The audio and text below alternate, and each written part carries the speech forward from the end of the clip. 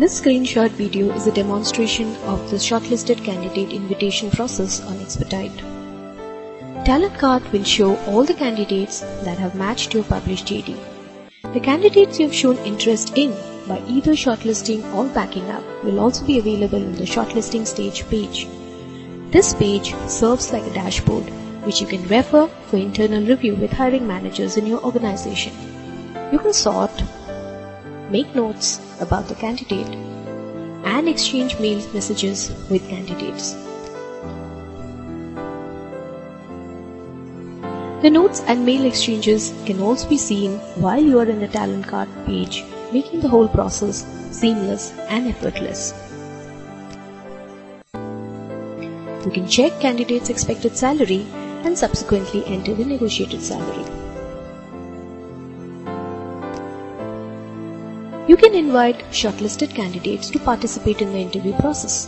If necessary, you can seek approval by sharing the profile with the hiring manager to get their consent before inviting the candidate. Hiring managers active on the platform can be selected from the drop-down, else can be invited to join the hiring process by typing their email ID. All actions on this page can be done at an individual or at a group level.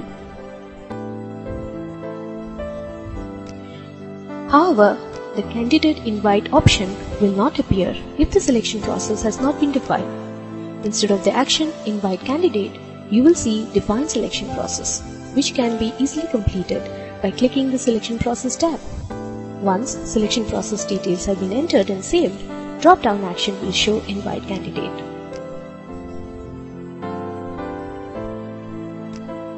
When the candidate accepts your invitation, the status will begin to reflect under the selection stage tab.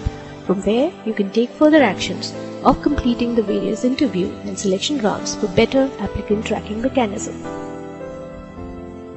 Thank you. If you have any questions or clarifications, please feel free to contact me.